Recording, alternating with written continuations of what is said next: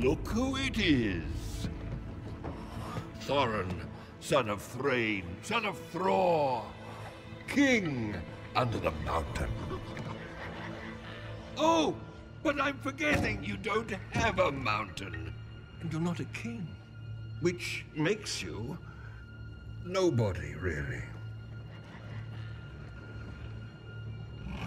I know someone who would pay a pretty price for your head.